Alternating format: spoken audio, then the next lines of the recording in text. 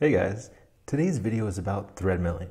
Let me ask you, have you ever been thread milling and had poor tool life or bad surface finish even though your speeds and feeds look perfect? I know I've been there. Well, today we're going to walk through a thread milling operation in Fusion 360 and we'll go through the feeds and speeds from start to finish. And the main thing we're going to look at is the chip load that Fusion 360 is telling you versus the actual chip load that we're going to see at the tip of the tool. I'm Vince and you're going to learn something today. Let's make some threads. We're going to start off with just a very simple sample part it's just a block with a bunch of threaded holes in it. I use something like this to prove out recipes for ProvenCut. The machine we'll be using is a Carbide 3D Shapeoko HDM, and it's one of the more heavier duty routers that we have, so I thought it was a good choice for the multi-form thread mill. Usually, I'd use a drill to drill these holes, but because this is an open face bore so we can see what's going on, I chose to use a 3 16 end mill and bore them out. Chip evacuation wasn't really a concern because of the open face and the through hole. I then ran a chamfer toolpath, and last but not least, our thread milling toolpath. As you can see, we only have to make one revolution with the multi-form thread mill to thread the whole part. Alright, feeds and speeds. Let's figure out how to run these tools correctly. The two most important pieces of information you'll need is the SFM recommendation and the feed per tooth recommendation for your tool and the material. If your manufacturer of your tool doesn't give you any recommendation, one of the best resources that I've found is Harvey Tool. This is Harvey Tool's feeds and speeds guide right here for a multi-form thread mill. So what I'm going to do is I'm going to look up my diameter of my tool, which is 0.18, which is right around here, and my material, which is 6061, which is right here. So they recommend an SFM of 1200, which is pretty high, and a chip load of 0.00084. Now let's put those into Fusion and see what happens. Okay, so for our spindle speed, we're going to be running 8000 RPM, which is the minimum RPM for the HDM router. However, compared to a mill, that's still pretty high. Our feed per tooth, 0.00084 which gives us a cutting feed rate of 20.16. Now, what if I told you that Fusion is lying to you? I mean, not on purpose or anything, but we'll walk through that in a second. Our plunge feed rate, pretty high, feed per rev of 5 thou, and that's because we're not cutting on our plunge, so I want to decrease the cycle time as much as possible. For anyone new here, your chip load is the chip thickness each flute cuts per revolution, and it directly correlates to how much power and force is needed in the cut. Too small of a chip load, and you won't create a chip and you'll be rubbing. Too large a chip load, and you could have poor tool life and just put too much load on the actual tool. And this is why it's very important to get this right. Generally speaking, when tools get smaller, that sweet spot of acceptable chip load also gets smaller as well. And most of the thread mills I've run are pretty small, so this is why we like to look at this measurement.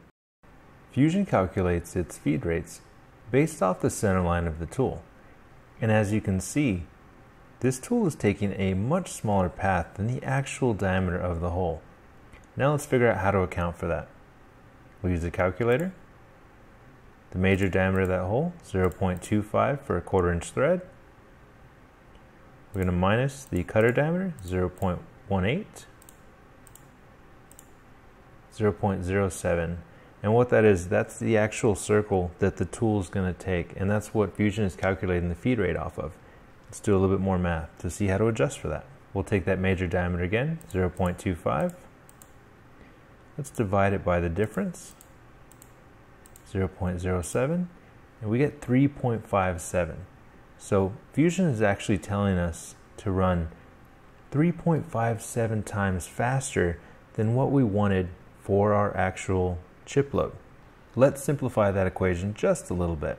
We'll take the major diameter, 0.25, minus the tool diameter, 0.18, equals 0.07, times that by the feed rate at the chip load that we want, which is right around 20, equals 1.4 divided by the major diameter, 0.25.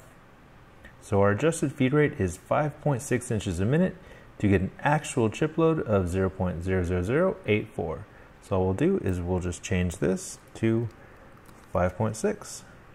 Let's go to the next tab. For the geometry, pretty simple tab here. All we do is select our geometry. If they're all the same size holes, you just click here, select same diameter, and then you only have to click one. With the heights tab, for the multiform, it's a little bit different. Our bottom height is our hole bottom, and our top height is our hole bottom plus 0.1. And as you can see, that lets us just get barely over one revolution just to make sure we have perfect blend. In the passes tab, it's a little bit more complicated. Our thread pitch, pretty simple. It's a quarter 20 thread.